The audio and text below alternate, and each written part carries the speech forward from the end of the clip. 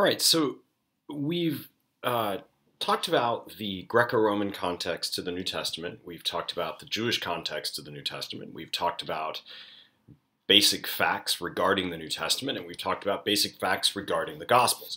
So tonight, what we're going to do is we're going to start by discussing the very first Gospel that was written which is the Gospel of Mark.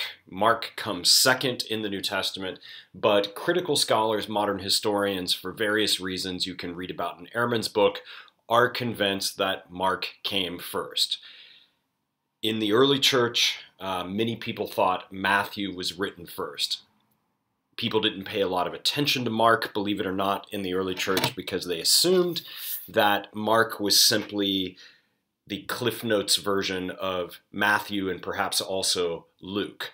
So the assumption was why read Mark when most of what's in Mark shows up in Matthew anyway. But scholars today are very, very interested in the Gospel of Mark because if you're a historian, you do have to work under the, the assumption that the earliest text is the closest to the events you're trying to understand or to the person that you're trying to understand.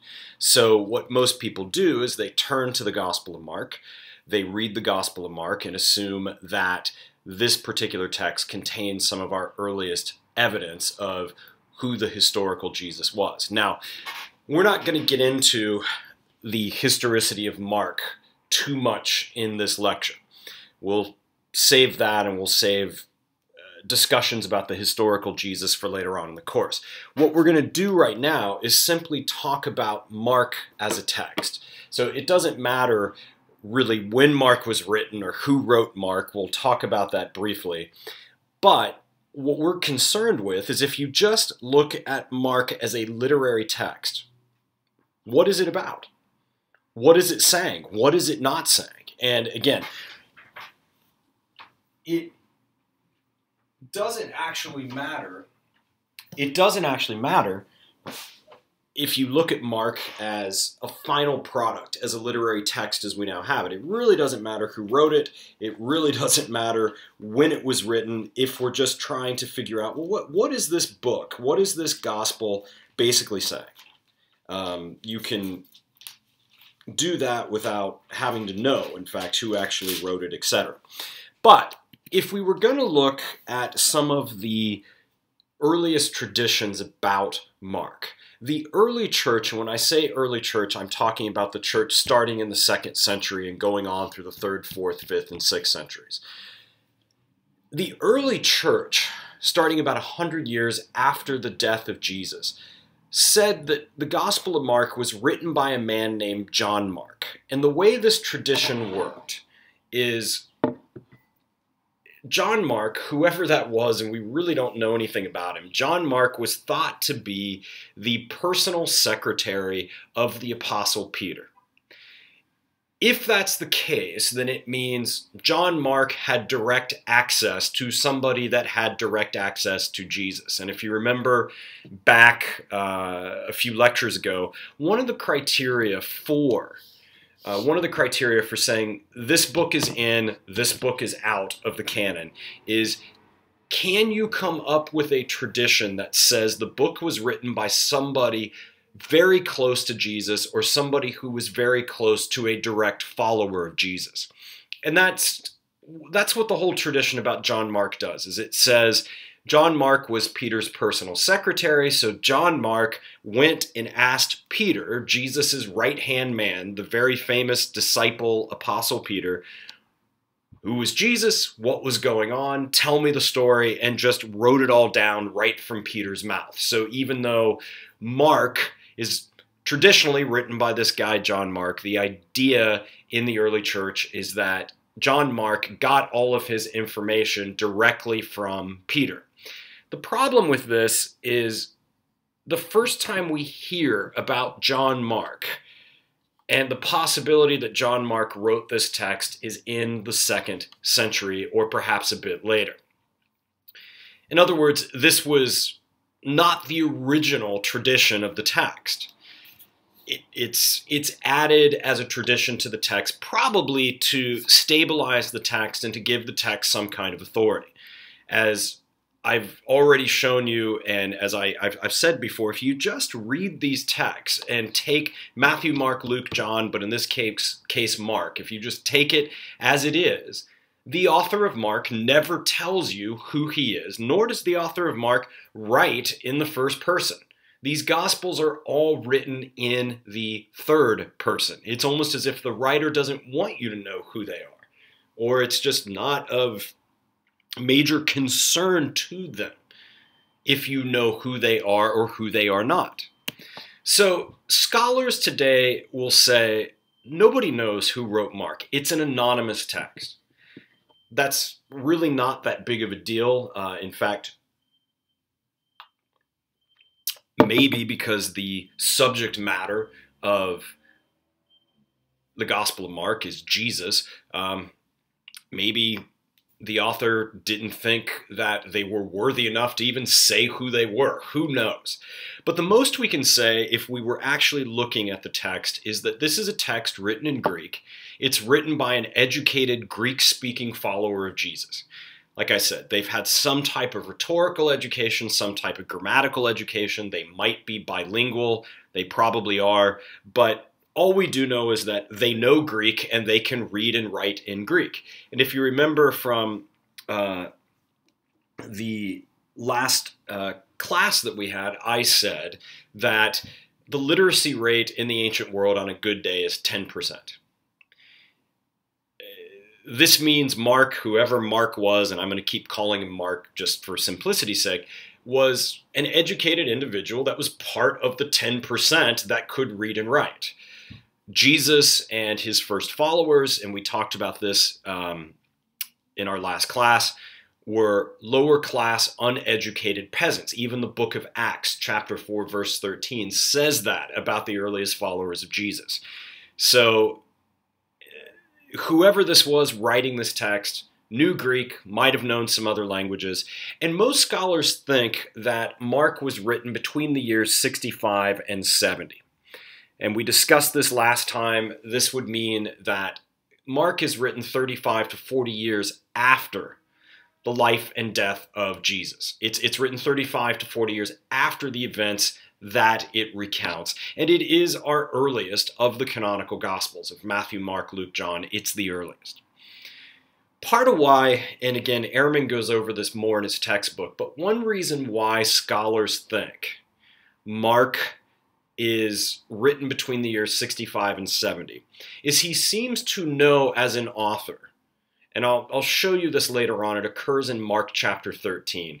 He seems to know as an author that the Jews have been in a war with the Romans and that the Romans have destroyed the Jewish temple in Jerusalem. In fact, what he does, which is very, very clever, is he puts a prophecy about the destruction of Jerusalem in the year 70 into the mouth of Jesus.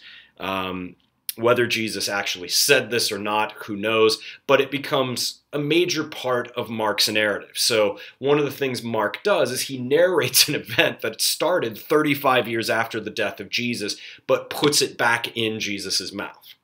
And again, we'll, we'll come back to that here in a moment, but that is one of the reasons why scholars think this text was not written during the lifetime of Jesus because it refers to events decades after the life of Jesus and his followers. Well, putting all that aside for a moment, if we just turn to the text of Mark, the very first chapter of Mark, so if you see here Mark 1 colon 1, Here's what that means. The first one, at least th- this is how Americans and Canadians um, talk about texts uh, in the Bible. Mark is obviously the name of the text. The big one, the first one, and usually in Bibles that you're reading, you'll see a number that is in bold print. That first number, Mark 1, refers to Mark chapter 1. And if you turn to most Bibles, like I said, the number 1 there indicating chapter will be in some sort of bold black print or bold red print or something like that to set it off from the other numbers. The smaller numbers that are not in bold print are the verses. So when somebody says Mark chapter 1 colon 1, what they mean is read Mark chapter 1, verse 1. If they say something like Mark 1 colon 1 dash 3, it means Mark chapter 1, verses 1 through 3. So in Mark 1 1, the author of Mark tells you exactly what this book is about. He starts out by saying, This is the beginning of the gospel or the good news, another word for gospel, of Jesus Christ or Jesus the Messiah, the Son of God. So, right away, the, the author of Mark starts his account not like how we as modern people would start an accurate biography of a person. He does not start by saying, in the year whatever, a child was born in this city to these parents or something like that. He starts off just telling you this is the beginning of the gospel of Jesus Christ, the Son of God. In a way, this is Mark's thesis statement. This entire work is about Jesus, the Messiah, the Son of God. And everything else Mark is going to do, from this chapter to the very last chapter of Mark, is try to convince you that Jesus is the Messiah and he is, in fact, the Son of God. That's it. Now, that seems simple enough until you start breaking some of this down. The word Christ is a Greek word, Christos, and it's spelled in English C H R I S T O S. That's the Greek word Christos, from which we get Christ. Christ is not Jesus' last name. In fact, in most cases, when you see this term Christ in the New Testament, the way you should read it is Jesus the Christ. It's, it's a title for Jesus. In Hebrew, the word is Mashiach. It simply means Messiah. Uh, so if you say Messiah or you say Christ, you're talking about the same thing. Christ is the Greek way of talking about this Hebrew concept of Messiah. As a Jew, if you were speaking Aramaic or speaking Hebrew, Messiah simply means the one who is anointed. There were a lot of messiahs in Israel's history, in ancient Jewish history. Kings could be anointed, foreign leaders who came and freed the Jews from captivity could be the anointed one. So, this is not a magical term and it's not a special term it, it does start to have some different ideas associated with it and new connotations during the days of Jesus. But but basically, when you say Jesus the Christ or Jesus the Messiah, all you're saying is Jesus who is the anointed one. But here's Mark's problem. A lot of people are apparently questioning when Mark writes whether or not Jesus can actually be the Messiah. And you might say, well, well, wait a minute. Why, why would they do that? What's the big deal? It's actually not that big of a deal to claim that you are the Jewish Messiah. Lots of people did it before Jesus and after Jesus. It's also not a gigantic issue. It's more of an issue, but not a gigantic issue to even say you're son of God and all that sort of stuff. But there is no tradition that scholars know of in Judaism during the time of Jesus of a Messiah who is supposed to suffer and die. In other words, if, if you're a Jew, like Jesus and his followers, what messiahs are supposed to do, if they really are the Messiah, is they are supposed to triumph over the enemies of the Jewish people. They are not supposed to die at the hands of the enemies of the Jewish people. In the first century, the enemies are the Romans. And if you know your basic story of Jesus, Jesus is crucified by the Romans. He's sentenced to death by the Romans. That's not supposed to happen. In fact, if you die at the hands of the Jewish enemies, the Romans, and you don't triumph over them, then you're a failed Messiah. So, what Mark is trying to do is flip all of this. He's trying to say, yeah, I know that, but the truth is, Jesus is the Messiah precisely because he suffered and died at the hands of our enemies. Now, this is an uphill battle for Mark. I mean, this is like Sisyphus pushing the rock up the hill. because again, there is no tradition at all of a Jewish Messiah who wins by suffering and dying at the hands of the Romans. So, all throughout Mark, this is what Mark is trying to do. He's trying to say, look, Jesus is the Messiah and he's the Son of God. But that doesn't mean what you think it means. If you think it means the Messiah triumphs, you're wrong. What it means is the Messiah is supposed to die and suffer. And so, if there was ever a bumper sticker for the Gospel of Mark, it's something like Jesus is the Messiah precisely because he is the suffering Messiah who died. Mark is very, very tragic in how it presents Jesus. It's all about a suffering and dying Jesus who has to suffer and die in order to, to win. So, to prove this, Mark starts out by telling us all kinds of things about Jesus. If you, if you notice from reading Mark, there is no birth story. Mark doesn't really care about Jesus's upbringing, his family, all that sort of stuff. The action in Mark starts when Jesus is an adult and it, it moves very, very quickly. One of the things Mark likes to do is say immediately, immediately, immediately, this happened, then this, then this. So Mark starts out trying to tell you as a reader stories about Jesus that are to convince you that, of course, Jesus is the Messiah and the Son of God. One of the first things he does is he talks about Jesus being baptized by John. This occurs in Mark chapter 1, verses 2 through 3. As it is written in the prophet Isaiah, See, I am sending my messenger ahead of you, who will prepare your way, the voice of one crying out in the wilderness. Prepare the way of the Lord, make his paths straight. And then John appears, and John baptizes Jesus. The next thing that happens, and this is still in chapter 1, is Jesus goes into the wilderness where he's tempted by Satan, and he overcomes these temptations. He then moves on and he starts healing people in the region of Galilee, where Jesus was likely from, this northern region around Lake Galilee in uh, modern day Palestine. He then starts calling his first disciples. After he heals some people, he starts exorcising demons from people. Well, what's what's so odd about this is here's Jesus.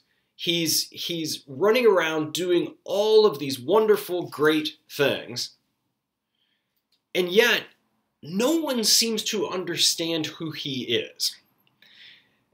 And this is one of the conundrums of Mark that Mark shows you here's Jesus, he was baptized by John the Baptist, he overcomes temptations from the devil, he's healing people, he's exorcising demons.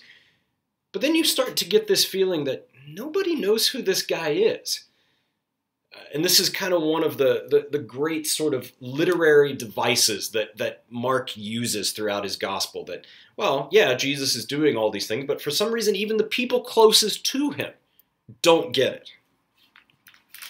So, if you look over in Mark chapter 3, I mean, the list of people that don't get it and the list of people that reject Jesus is, is pretty overwhelming. Uh, in fact, there's a there's a, a story that's told in Mark chapter three, um, starting at verse 20, 21. Then Jesus went home, and the crowd came together again so that they could not even eat. When his family heard it, they went out to restrain him, for people were saying he has gone out of his mind. And the scribes who came down from Jerusalem said, He has Beelzebul and by the ruler of demons he casts out demons. And he called them to him and spoke to them in parables. He how can Satan cast out Satan? If a kingdom is divided against itself, the kingdom cannot stand. And if a house is divided against itself, that house will not be able to stand. And if Satan, this is Jesus talking, has risen up against Satan, against himself and is divided. He cannot stand because his end has come. But no one can enter a strong man's house and plunder his property without first trying tying up the strong man. Then indeed the house can be plundered. Truly I tell you, people will be forgiven for their sins and whatever blasphemies they utter. But whoever blasphemes against the Holy Spirit can never have forgiveness, but is guilty of an eternal sin. And then they said, He has an unclean spirit. Then his mother and his brothers came to him. Standing outside, they sent to him and called him. A crowd was sitting around him, and they said to him, Your mother, your brothers, and your sisters are outside asking for you. And Jesus replied, Who are my mother and my brothers? And looking at those who were sitting around him, he said, Here, you are my mother, you are my brothers. Whoever does the will of God is my brother and sister and mother. This is an absolutely tragic story here in chapter 3, starting at verse 20 and going to the end of the chapter. Jesus' family, who, by the way, nobody's named in this. You, you, you don't hear his mother being called Mary in this text. She doesn't have a name. His mother, his brothers, his sisters think he's insane. They're trying to restrain him, they're trying to stop him. The Jewish leaders reject him, saying he has a demonic spirit called Beelzebul.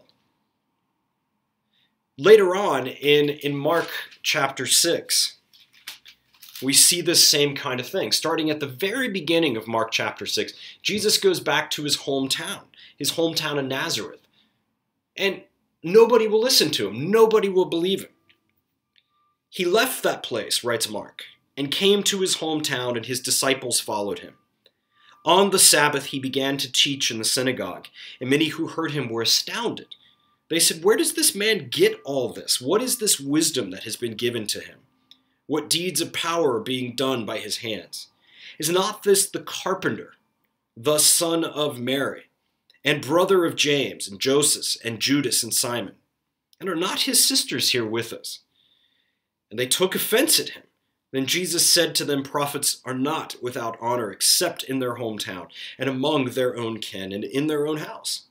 And he couldn't do a deed of power there except that he laid his hands on a few sick people and cured them and he was amazed at their unbelief. Here you have a story of people from his hometown saying, This guy can't be this smart.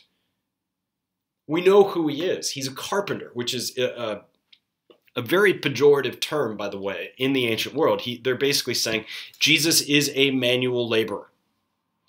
If you are a manual laborer in the ancient world, you are looked down upon. You are part of the lower classes, or even the lowest of the lower classes. And here the people are saying, we, we know this guy. We know his mother, we know his brothers, we know his sisters. And they just reject it, even though he's here doing miraculous things and saying things that are astounding people. Later on in that same chapter, something very strange happens. The disciples themselves are confused about who he is. Um, in fact, all the way over, not just in chapter 6, but in chapter 8, he has to say to his disciples, he has to ask his disciples, Do you not yet understand everything that I'm doing? So there's this there's this thing going on in Mark, this this this very interesting literary device where Jesus is doing all this great miraculous stuff, healing people, casting out demons, you name it. But his family doesn't seem to understand him. His own Jewish leaders think he has a demon. His friends and neighbors from his hometown reject him. And then his own followers, who have presumably been walking around with him watching all of this happen, don't get it. I mean, that's kind of a big theme of Mark, of people that are closest to Jesus don't seem to have any clue who he is. In fact, scholars sometimes call this the messianic secret in Mark. Because the, the identity of Jesus, it's, it's, it's being kept secret or people just don't know who he is. And it's, it's one of these things that's puzzled scholars for a very, very long time of why is this going on?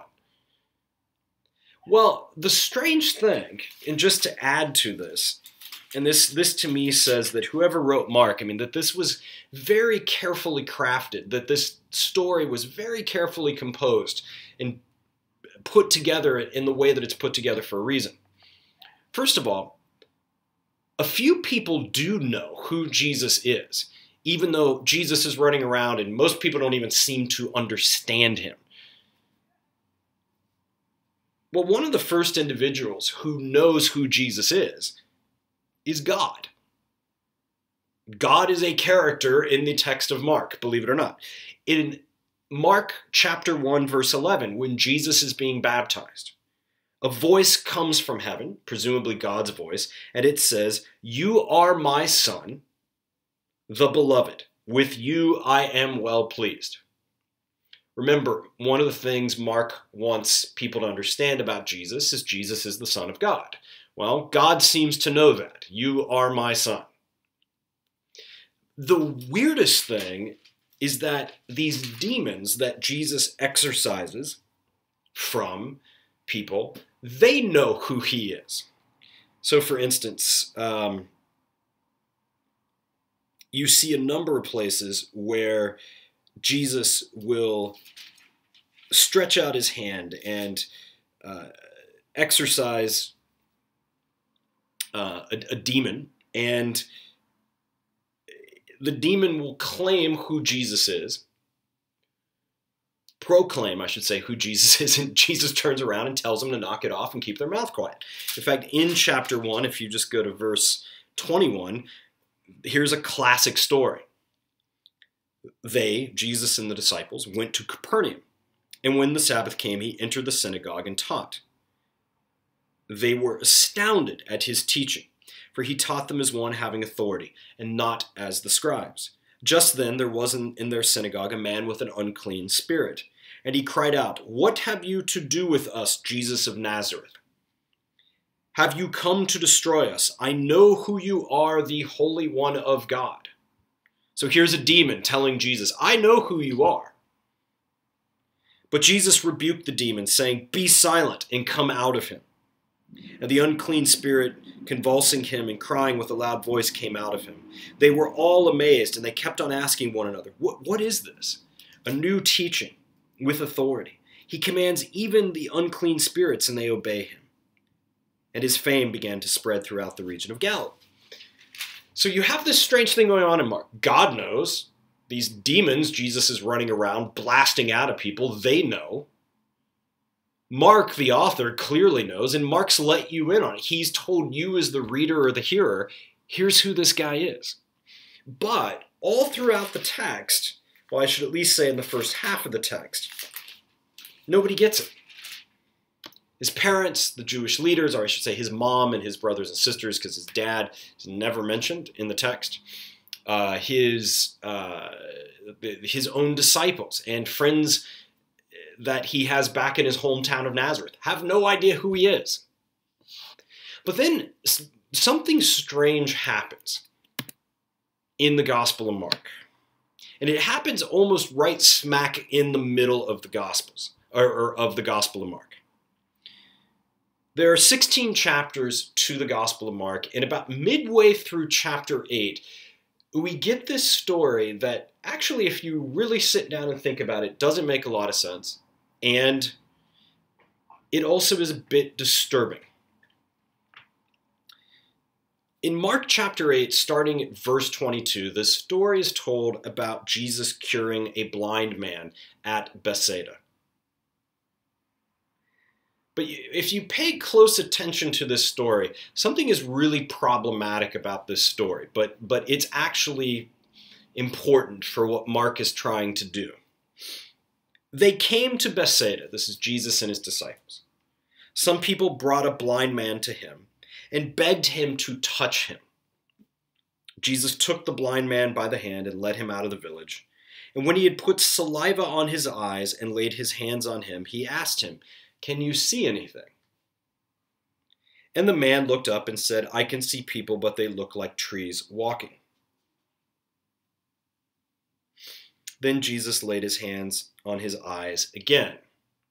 And he looked intently, and his sight was restored, and he saw everything clearly. Then he sent him away to his hometown, saying, Do not even go into the village.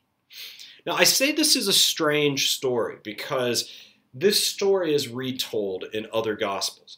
When it's retold, Jesus heals a person once and they're healed.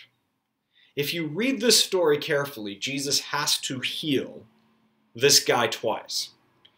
And some people have thought that's really strange because why can't Jesus get it right on the first shot? Well, Mark is doing something here that's part of his literary strategy.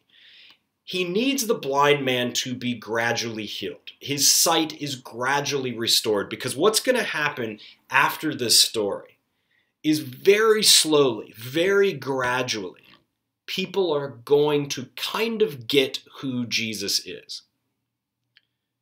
Or at least they're going to understand it a bit better, just like the blind man who's gradually starting to see. So, what, what Mark does with this miracle is he says, okay, I'm going to take the story of Jesus healing the blind man and use that as a literary motif for what's about to happen from here on out. All along, people haven't understood Jesus, but now some people are gradually going to start getting it. And in fact, what happens next is Jesus' right hand man, the Apostle Peter, St. Peter, whatever you want to refer to him as, he finally gets it. And he says what Jesus has wanted him to say all along. So, starting at verse 27 of chapter 8, right after the story of the blind man being healed, Jesus went on with his disciples to the village of Caesarea Philippi. And on the way, he asked his disciples, Who do people say that I am? Fascinating question because Jesus is just about what he's doing is he's getting ready to test his disciples to see if they can get the answer right. Who do people say that I am? And they answered him, John the Baptist. Others say Elijah, and still others that you're one of the prophets, talking about the prophets in the Old Testament, the Hebrew Bible. Jesus turns and asked his disciples, Well, who do you say that I am? And Peter answered, he kind of blurts out and he gets it right. You are the Messiah. Well, it's about time that Peter gets this right. And again, strange thing, Jesus turns to Peter and sternly warns Peter and his disciples don't tell anyone about this. So he gets it right. You are the Messiah. This is something Mark has been waiting for people to understand. Peter finally gets it. But what's so crazy in Mark is that right after Peter says this, he gets it wrong. In other words, he has the answer right, but he has the wrong definition of the answer. It's a very important thing. You, you, can sometimes know what the answer is to a question, but not know what the answer means. And this is what's going on with Peter. So, right after Peter says, You're the Messiah, the story goes like this in verse 31 of chapter 8. Then Jesus began to teach them that the Son of Man must undergo great suffering and be rejected by the elders, the chief priests, and the scribes, and be killed, and after three days rise again. He said all these things quite openly. In fact, one of the things Jesus likes to do is he likes to use this title, Son of Man, for himself. We'll talk about that later because it's an apocalyptic title that refers back to the Old Testament prophet Daniel. So when he says, the Son of Man must undergo great suffering, he's talking about himself, and he's talking in code in a way that Jews would understand what he means. He said all this quite openly, and Peter took him aside and began to rebuke him. I mean, essentially, Peter is telling Jesus, You're wrong. But turning and looking at his disciples, Jesus rebuked Peter and said, Get behind me, Satan, for you are setting your mind not on divine things, but on human things. To be fair to Peter, Peter is being a really good Jew. Peter has figured out, I get it, you're our Messiah. And then Jesus turns around and says, Right, and as your Messiah, I am going to suffer, be rejected, and die, and I will come back. But Peter, as a good Jew in the first century, doesn't know what this is because there is no concept of a dying, rising Messiah. I mean, so this this is this is an argument that Peter and Jesus are having about what does it mean to be the Messiah. Peter says it doesn't mean that, and Jesus says yes, it does. So the, the strange thing here is P- Peter knows who he is, but he doesn't get Jesus' definition of what it means to be the Messiah. So from here on out, you, you really get the sense that Jesus is the Messiah, but he's defining that term differently from how any other Jew was defining it, because the way he's defining it is the Messiah has to suffer and die in order to triumph. But nobody gets this. So this is this is Peter's problem in chapter 8. Uh, in chapter 9, verse 31. For he was teaching his disciples, saying to them, The Son of Man is to be betrayed into human hands, and they will kill him, and three days after being killed, he will rise again. Verse 32 But they did not understand what he was saying, and they were afraid to ask him. In chapter 10, this same thing occurs in verses 33 through 34. See, we are going up to Jerusalem, Jesus says, and the Son of Man will be handed over to the chief priests and the scribes, and they will condemn him to death. Then they will hand him over to the Gentiles. They will mock him and spit upon him and flog him and kill him, and after three days he will rise again. And the story goes on, and, and they just don't get it. So, from here on out, after the healing of the blind man, briefly, Peter and his and the disciples seem to get it. Then they don't get it. And then Jesus keeps telling them, look, this is what is going to happen to me. Jesus is predicting his death over and over again. And no one gets it. And, and, this really, if you think about it, is, is a very, very tragic story that the people closest to Jesus don't understand what he's doing.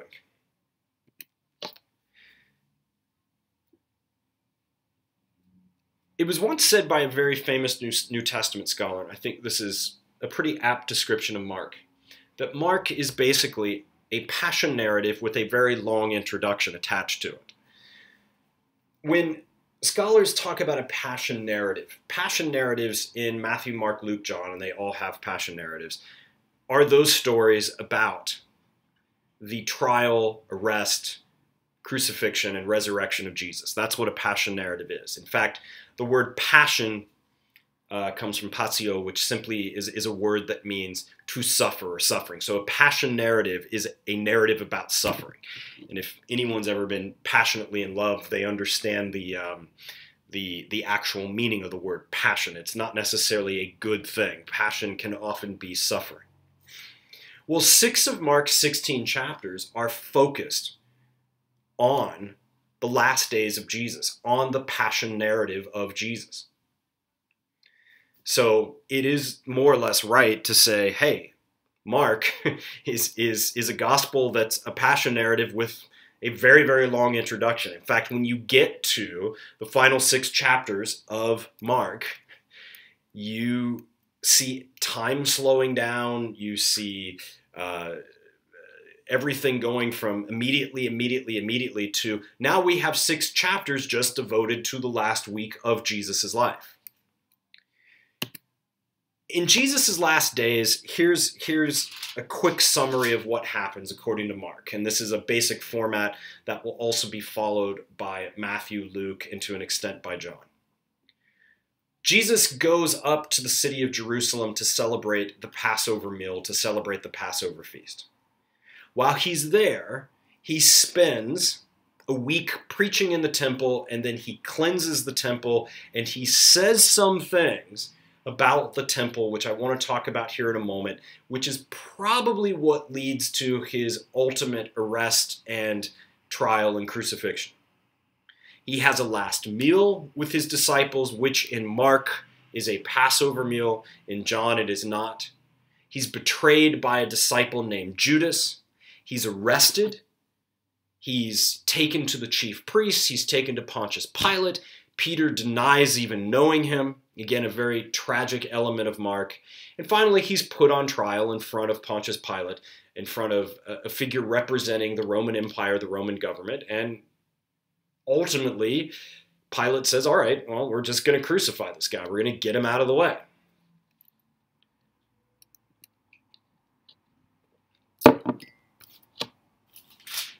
Oftentimes people, you know, wonder what, why, why was Jesus killed? Why was he such a threat? Um, we're going to come back to this a lot in this course, but I'll just say here Jesus was not necessarily a nice spiritual guy walking around saying nice, lovely things to everybody. Jesus was an apocalyptic prophet. And when you're an apocalyptic prophet, you are somebody who is going around telling your followers and others that the world is going to end and end really, really soon. And if you start saying stuff like that, it means all the power structures that are in the world are going to change. The priests who are in charge are going to be out of work. The Roman Empire is going to be destroyed. So, uh, in the background of all of this, when when when you you, you hear Jesus, and I'll show you some examples of this here in a moment. When you start hearing Jesus talk like an apocalyptic prophet, you start to get the idea that, oh, I see why he might have been a threat to people.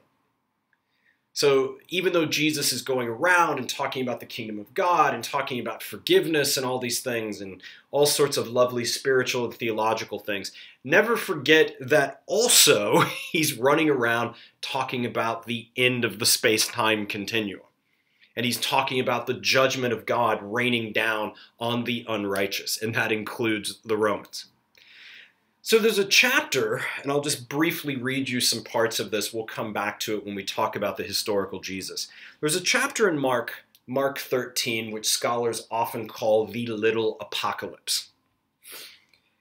And clear as day in Mark 13, Jesus is an apocalyptic prophet. One of the very first things Jesus does in Mark 13 is what likely ends up getting him arrested and killed. So in the very first verse of chapter 13, as he came out of the temple, so Jesus is in Jerusalem at the temple of God, where the Sadducees, the priests, would be in charge. One of his disciples said to him, Look, teacher, what large stones and what large buildings. Then Jesus asked him, Do you see these great buildings? Not one stone will be left here upon another. All will be thrown down. Now, that's an apocalyptic statement. That's a prophetic apocalyptic statement.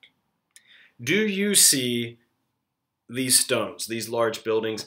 Guess what? They're going to be destroyed, is what he's saying. Now, he's saying this openly in the temple.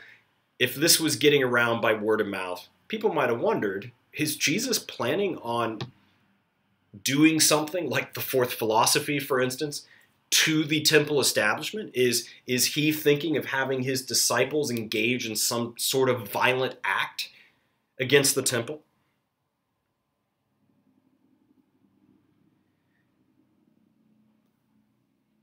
If you look further on in this chapter, he'll say things like, at verse 24, in those days, this is where he's talking about the end of time in those days after that great suffering, the sun will be darkened, and the moon will not give its light, and the stars will fall from the heavens, and the powers in the heavens will be shaken.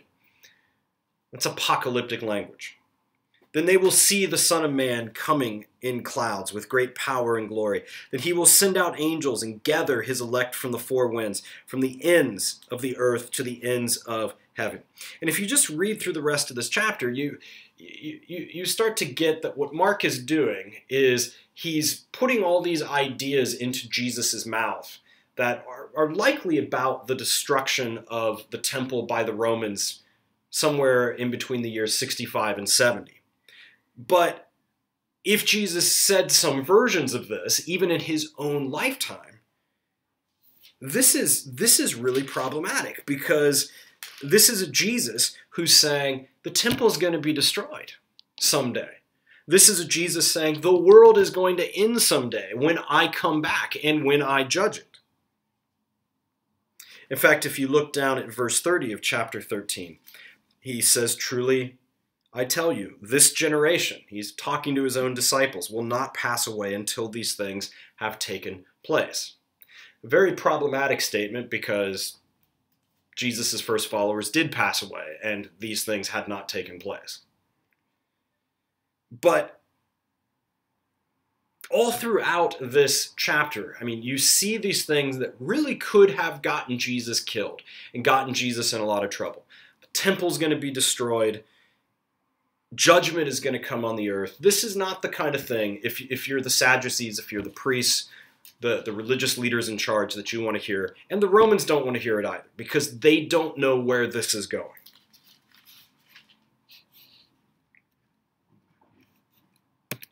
So, Jesus does get crucified. And I, I want to point out a, a, couple of things here to you. Um, the only group of people in first century Palestine or in the Roman Empire that have the right to crucify someone else are the Romans. That is the only form of capital punishment that the Romans use. If you're a Jew and you want to engage in some form of capital punishment, the only thing you're allowed legally to do is stone somebody to death. Crucifixion is reserved for the Romans. If you are crucified by the Romans, the, the point of that is to humiliate you and to say to others, Rome found you to be an enemy of the state. And crucifixion was just extremely, extremely graphic and extremely, extremely painful. You can see some bones here that archaeologists found of a foot with a nail through it through the ankle bone. You can see some other depictions here of drawings of what archaeologists think crucifixion actually looked like. You die uh, if you're crucified from asphyxiation because eventually you're so tired you can't hold yourself up. Uh, it's just a grueling, grueling form and disgusting form of torture. But again, if if you are crucified, the Roman state is saying, we deem you an enemy of the Roman state. So, whatever Jesus did, and sometimes I don't think it's entirely clear in the Gospels, he, he did something that ultimately Pilate and the Roman government in Judea in first century Palestine said, this guy deserves to die. So don't don't just don't forget that part of it. It's it's not like Jesus died simply because he was a nice guy or something like that. Um, he, he he was saying things, probably a lot of the stuff in Mark 13 that was was very problematic, both for the Jewish religious leaders and also for the Romans. But ultimately, if you get crucified, that that's Rome's responsibility. That that is not uh, something that uh, can be ordered by the Jews. It has to be ordered by the Romans in all of the Gospels, Jesus, there, there's variations as to what Jesus says when he dies. Uh, in fact, in churches today, especially around Easter time and Good Friday, you'll see this the, the, the seven last words of Jesus, uh, where all the different things Jesus said from all the different traditions are combined. Um, he says one very important thing in Mark after he is crucified uh, starting at verse 33 in chapter 15. When it was noon, darkness came over the whole land until three in the afternoon. At three o'clock, Jesus cried out with a loud voice, Eloi, Eloi, lema sabachthani, which means, My God, my God, why have you forsaken me? Again, this, this might as well be good Greek tragedy of here you have this story of Mark starting out by telling you this is who Jesus is, but everybody's going to get it wrong. His family gets it wrong, the Jewish leaders get it wrong, etc. His disciples start to get it, but then they don't get it. And then he explains it over and over and over again. He gets in trouble. His disciple Judas betrays him. Peter denies him. He's uh, arrested. He's taken before the chief priest. He's taken before Pilate. He's killed, he's crucified, and the last thing that comes out of his mouth when he dies is, God, why have you forsaken me? The entire Gospel of Mark is about the suffering of Jesus. If, if, you, if you ever want to see a very human, tragic Jesus, read Mark. Because at the end of it, he, he has this idea that even God has kind of let me down at this point. So those are Jesus' last words. The strange thing is, right after he dies, the oddest character in Mark gets the punchline of the entire gospel.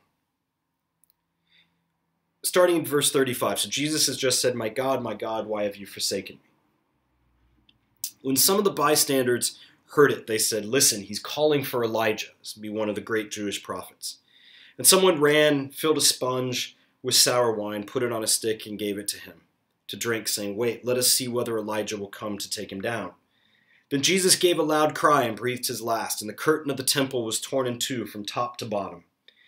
Now, when the Roman centurion who stood facing him saw that in this way he breathed his last, he said, Truly, this man was God's son.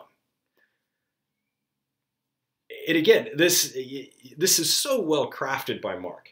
Of so it's kind of like sitting. You're sitting there going, "You're telling me that his disciples didn't get it, the Jewish leaders didn't get it, etc., etc. People from his hometown didn't get it. And here, after all of this, finally, finally, it comes out of the mouth of one of the Roman soldiers who likely participated in his crucifixion. This guy was or is the Son of God, or one of God's sons, or something like that. I mean, it, it's it's just it's it's almost like Mark has tried to figure out how, how can I make this story as tragic as possible. Now, the ending of Mark is also somewhat tragic. And throughout uh, church history, various other endings have been added to the original ending of Mark in order to try and clear up any possible misunderstandings. So, chapter 16, which the original chapter 16 that doesn't have the shorter ending and the longer ending, is really doesn't give you that much detail about what happened after the death of Jesus when he was buried.